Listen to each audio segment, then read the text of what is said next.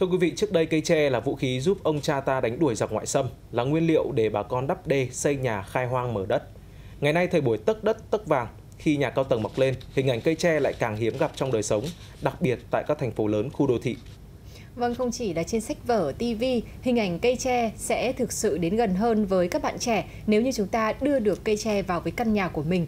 Và những chậu tre bonsai kích thước vừa phải sẽ giúp chúng ta làm được điều đó. Chúng tôi đang muốn nhắc tới một trào lưu mới trong giới chơi cây cảnh, đó chính là thú chơi tre bonsai. Mời quý vị cùng tìm hiểu.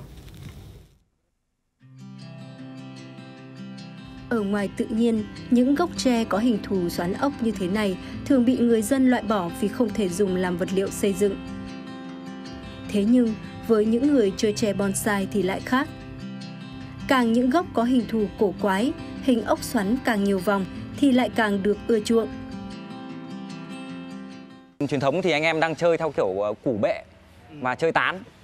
Còn về những anh em mà chơi theo kiểu có một chút cá tính hơn thì anh em hay tìm những cái ờ, hình thù nó xoắn hình những con ốc rồi à, à, nó co lắc lắc lư ấy rồi xoắn vặn đấy thì là những anh em về chơi mà người ta chơi về theo kiểu một chút chút cá tính hơn thì anh em hay, hay đi theo cái hướng như thế. Theo anh Huy cái hay của tre bonsai là người chơi không thể tác động quá nhiều vào dáng thế của cây như nhiều loại cây cảnh khác. Đa phần những dáng thế độc, lạ của cây tre đều do thiên nhiên ban tặng qua nhiều năm phát triển tự nhiên mà thành. Cây tre bắt buộc là nó phải có tán. Mà tán thì tất nhiên ở góc độ chơi thì nó lên tán thì nó cũng là bình thường thôi. Quan trọng là mình ngay từ những cái bước đầu mình củ bệ này, mình cũng đã phải là đi chọn lựa những cái gốc nó để sau mình nó lên thành cái ý đồ của mình mình, tương lai mà mình mong muốn cái cái gốc nó cũng đã phải đặc biệt đã về cái tán lên cành, răm, lá, các thứ thì nó nó về về sau trong tâm thức của người Việt, cây tre là bạn đồng hành của bà con suốt nhiều thế kỷ khai hoang mở đất, xây dựng và giữ nước. Ở thời hiện đại, từ tre mà nên nghề thủ công mỹ nghệ giúp bao bà con thoát nghèo. Và đến nay, khi kinh tế xã hội đã dần phát triển, tre bonsai bắt đầu trở thành một thú chơi đầy nhân văn, đưa con người ta trở về với nguồn cội tre nó mới đúng chất là là là chơi của cái truyền thống ấy. Có nghĩa là cây tre nó gắn bó với người dân Việt Nam mình ừ, từ những cái thời cha ông rồi nó đi gắn liền với lịch sử của Việt Nam. Sao mình không thổi cái, cái năng lượng của của cây tre nó lên cho cho anh em chơi tạo nó thành một cái một phong trào bonsai. Theo anh Huy bên cạnh việc giải tỏa căng thẳng việc tạo tác tre bonsai cũng đem đến cho anh những khoản thu nhất định. Ngoài ra, ngay cả bà con tại nhiều địa phương cũng có thêm nguồn thu nhập khi khai thác được những gốc tre độc lạ, vốn không có giá trị sử dụng trong đời sống, nhưng lại rất có giá trị thẩm mỹ với những người chơi. Thưa quý vị, tận dụng diện tích đất lâm nghiệp dưới tán rừng phù hợp với thổ nhưỡng, huyện Bắc Quang, tỉnh Hà Giang đã phát triển diện tích cây lá khôi, đem lại hiệu quả kinh tế thiết thực. Và ngay sau đây sẽ là câu chuyện của những người nông dân ở Hà Giang làm giàu với cây lá khôi là một minh chứng cho việc nỗ lực tìm hướng đi mới, đem lại hiệu quả kinh tế và sinh kế lâu dài cho gia đình và địa phương. Dưới tán cây rừng, anh Lý Văn Chiêm, thị trấn Việt Quang, huyện Bắc Quang, tỉnh Hà Giang đang chăm sóc những cây lá khôi mới trồng. Từ khi biết đến giá trị của các cây lá khôi, anh Chiêm đã tận dụng những tán rừng của gia đình để mở rộng diện tích. Bà con nhân dân cùng nhau là trồng cây lá khôi này để nó nâng cao kinh tế. Đến nay thì tỷ lệ trồng cây lá khôi bao phủ cây rừng của thôn khu vực dưới này cũng đạt được khoảng 6-70%. Cây lá khôi trồng 4 đến 5 tháng có thể thu hái lứa lá đầu, mỗi năm lá khôi cho thu hoạch 4 đến 5 lứa. Mỗi lượng thu hoạch được từ 0,5 đến 1 kg một cây. Lượng thu tăng theo từng năm, Cây lá khôi có thể cho thu hoạch trên 10 năm, giá của cây hiện tại là 140.000 đồng một kg lá khô. Việc chăm sóc không mất nhiều công sức nên giá trị kinh tế của loài cây này mang lại khá cao. Ờ, khi thấy cái cây lá khôi ấy, có cái hiệu quả kinh tế thì, thì bà con bắt đầu gây ra gây trồng từ năm 2000 2000 trồng nhiều nhất là từ năm 2010 đổ lại trồng về sau này nữa là 2018 19 bắt đầu là trồng rất là nhiều. Bây giờ cái tổng diện tích của thôn có tầm khoảng 6 đến 7 ha cây lá khôi. Huyện Bắc Quang hiện có gần 40 hecta diện tích trồng cây lá khôi, tập trung ở các xã Việt Trinh, thị trấn Việt Quang. Cây thích hợp trồng dưới tán rừng, việc chăm sóc cũng không mất nhiều công. Nay thì chúng tôi tập trung phát triển hai cây đó là nhất là cây lá khôi, thứ hai là cái cây ờ, thảo quả. Ờ, đối với hai cây này thì song song với cái cơ chế chính sách hiện nay thì huyện cũng vận dụng ờ, áp dụng các chính sách của các chương trình mục tiêu quốc gia xây dựng mới và chương trình là đồng bào dân tộc số để chúng tôi hỗ trợ gắn với cái việc liên kết hình thành các chuỗi với cái đơn vị này đang đóng trên địa bàn huyện làm sao mà vừa tăng cái giá trị thu nhập cho người dân từ cái phát triển kinh tế rừng cũng như là việc trồng cây dược liệu dưới tán rừng. Việc phát triển cây lá khôi, sản phẩm dược liệu dưới tán rừng mang lại giá trị kinh tế cũng như giúp nâng cao ý thức trong bảo vệ rừng. Với hiệu quả, lợi ích kép mang lại, huyện Bắc Quang sẽ chú trọng mở rộng diện tích, xây dựng các chuỗi liên kết để tạo đầu ra ổn định cho nhân dân.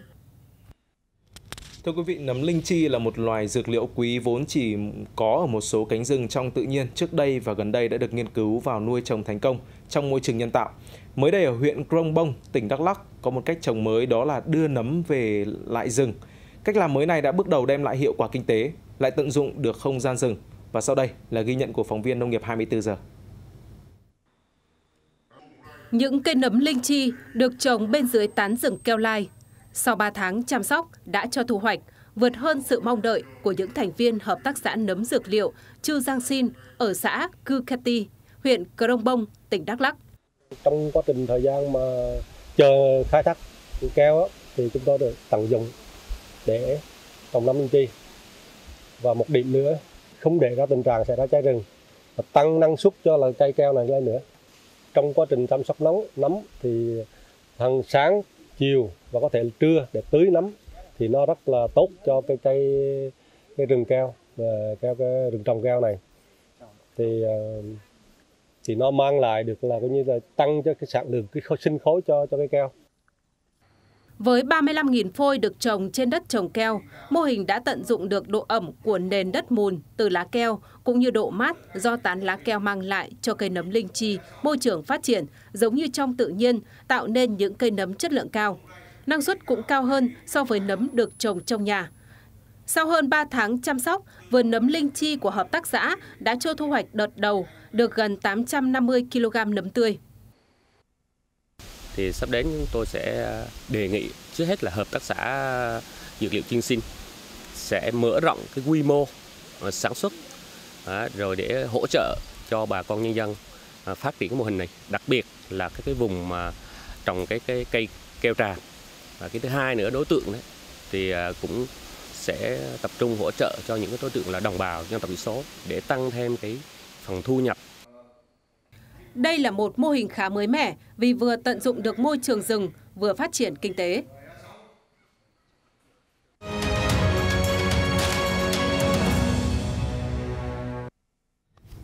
Tiếp tục với những tin tức chúng tôi vừa cập nhật. Thưa quý vị, mặc dù còn một tháng rưỡi nữa mới đến Tết Trung Thu, nhưng trên các tuyến đường tại thành phố Hà Nội, thị trường bánh Trung Thu đã bắt đầu khởi động. Bất chấp sức mua còn yếu thì nhiều nhà kinh doanh đều tăng sản lượng và chủng loại bánh. Bất chấp những khó khăn từ thị trường, nhiều doanh nghiệp vẫn tăng sản lượng bánh trung thu cũng như nâng cấp chất lượng mẫu mã. Ngoài các dòng bánh trung thu truyền thống, năm nay các doanh nghiệp còn trình làng các dòng bánh nâng cấp khác. Năm nay, hầu hết các nhãn hàng bánh trung thu đều tăng giá so với mùa bánh năm trước. Ở dòng bình dân, giá bánh dao động từ 250 đến 600 nghìn đồng một hộp, tùy loại nhân và tùy thương hiệu. Ở phân khúc cao cấp, bánh trung thu có giá từ 1 đến 5 triệu đồng một hộp. Với giá bánh lẻ, giá dao động trong khoảng 30 đến 200 nghìn đồng một bánh tùy loại và tùy thương hiệu. Việc bánh trung thu tăng giá, đồng thời còn hơn một tháng nữa mới đến Tết Trung thu, nên sức tiêu thụ mặt hàng này khá chậm lắng. Nguyên nhân là do trước giảm tháng 7 không phải là mùa cao điểm tiêu thụ bánh trung thu.